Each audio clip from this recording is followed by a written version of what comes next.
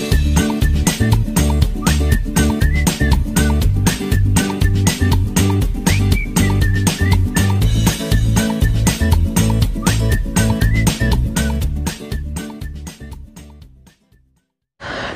Everyone स्वागत है आप लोगों का हमारे चैनल में। सो दोस्तों, आज का जो वीडियो है, उसमें मैं आपको तीन जो है टॉप के फीचर्स बताऊँगा आपके सैमसंग के फ़ोन के।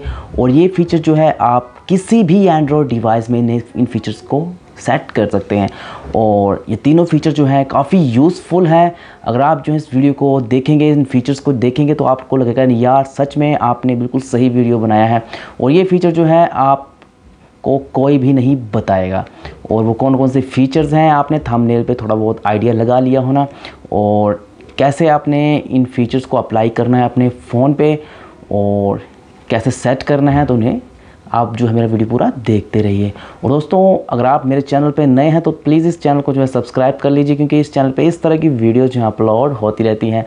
सो नमस्कार दोस्तों मेरा नाम है राकेश कुमार और आप देख रहे हैं आर के न्यूज़ टैक चैनल तो चलिए इस वीडियो को स्टार्ट करते हैं। सो so, दोस्तों सबसे पहले हम जो है पहले हिडन फीचर्स के बारे में बात करेंगे। सो so, दोस्तों जैसे कि आप अपने फ़ोन में एप्लीकेशंस डाउनलोड करते हैं तो वो जो होती है आपकी इंटरनल मेमोरी में इंस्टॉल होती है। लेकिन मैं आपको आज एक ट्रिक बताऊँगा कि आप जो है कोई भी एप्लीकेशन अपने फ़ोन में डाउनलोड करेंगे तो वो सीधा जो है आपके एसडी कार्ड में ही इंस्टॉल होगी। तो वो कौन सी सेटिंग है कहाँ पर आपको मिलेगी तो उसके लिए आपको जाना होगा आपके फ़ोन की सेटिंग पर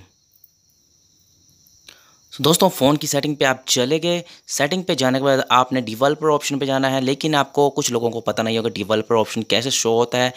उसके लिए जाना है सबसे पहले आपको अबाउट फ़ोन पे, फिर जाना होगा आपका सॉफ्टवेयर इंफॉर्मेशन पे, फिर बिल नंबर पे आपने सात बार क्लिक करना है। उसके बाद जो ये ऑप्शन आपको यहाँ पे शो हो जाएगा डिवेलपर ऑप्शन यहाँ पे आपने जाना है, फिर यहाँ से ऊपर से आपने इसे ऑन करना है, फिर नीचे को स्क्रॉल डाउन करना है, फिर आपने यहाँ पे एक ऑप्शन ढूंढना है force allow app on external तो आपने जो है इसे यहाँ से ऑन कर देना है। मतलब कि आप कोई भी एप्लीकेशन डाउनलोड करेंगे, वो आपके एक्सटर्नल एसडी कार्ड में जो है शिफ्ट हो जाएगी और आपका फ़ोन जो है बिल्कुल ही साफ़ रहेगा और उसकी मेमोरी भी नहीं भरेगी और वो बिल्कुल ही स्मूथली वर्क करेगा और आपका फ़ोन हैंग भी नहीं होगा।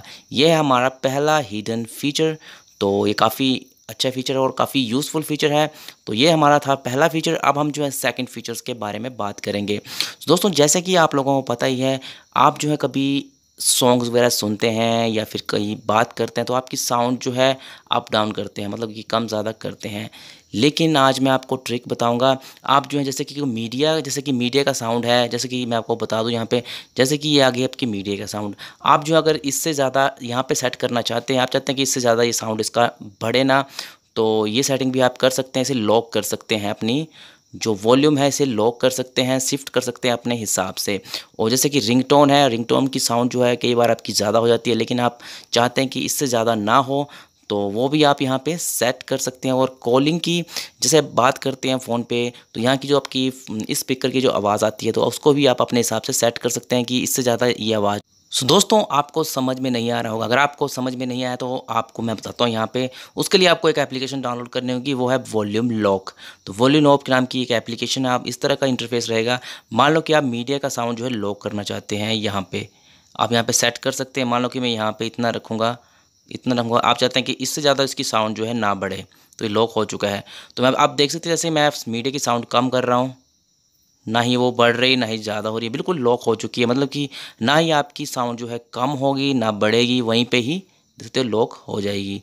बिल्कुल ही लॉक हो चुकी है। मीडिया की साउंड तो उसके बाद जो है, अगर आप वॉइस कॉल की साउंड जो है लॉक करना चाहते हैं, वो भी यहाँ पे लॉक कर सकते हैं और रिंगर की लॉक करना चाहते हैं तो वो भी वहाँ पे लॉक हो जाएगी और नोटिफिकेशन की भी लॉक हो जाएगी और ब्लूटूथ की भी यहाँ पे लॉक हो जाएगी और अलार्म की भी यहाँ पे लॉक हो जाएगी। तो ये काफ़ी अच्छी एप्लीकेशन लगी मुझे और ये आप भी डाउनलोड कर सकते हैं। इसका लिंक मैं आपको डिस्क्रिप्शन पर दे दूँगा।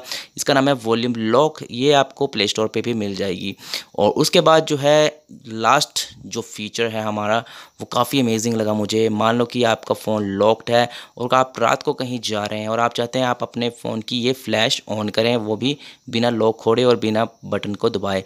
उसके लिए क्या करना होगा? आपको सीधा फ़ोन को शेक करना होगा ऐसे। ये देख सकते हो फ्लैश ऑन हो गई। फिर मैं शेक करूँगा। ये देख सकते हो शेक करने से जो है ये ऑन हो रही है और शेक करने से ही ऑफ़ हो रही है। जैसे ऑन हो गई ये देखो ऑफ़ हो गई। तो शेक करने से ही आपकी फ्लैश जो है ऑन हो जाएगी और शेक करने से ही ऑफ़ हो जाएगी। तो काफ़ी अच्छा फीचर है और आप इस फीचर का भी मज़ा उठा सकते हैं, उसके लिए आपको एप्लीकेशन डाउनलोड करनी होगी। उसका लिंक भी आपको मैं डिस्क्रिप्शन पे दे दूँगा। शेक लाइट और इस एप्लीकेशन को आपको प्ले स्टोर पर भी ये मिल जाएगी।